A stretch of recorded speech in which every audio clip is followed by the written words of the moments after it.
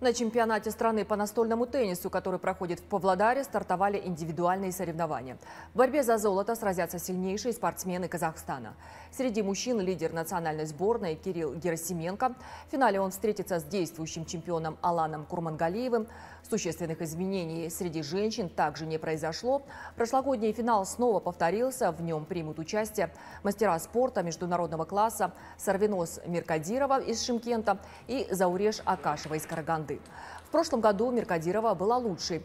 Сможет ли она повторить свой успех на этот раз, узнаем в воскресенье в решающих играх чемпионата. Просто интересно, есть на что посмотреть, на ком зацепить, так скажем, свой взгляд. Идет отчаянная борьба, все борются, кричат. У женщин ожидаемый финал. То есть э, Зауреша Кашева, Караганда и Сарвинос Меркадирова, Шимкент, они будут играть в большом финале. Э, Настя Лаврова из Нурсултана травмированная чуть-чуть была и проиграла за выход в 4, проиграла спортсменке из Алматы э, Ая Алимбаевой. Так что там еще будет борьба за третье место.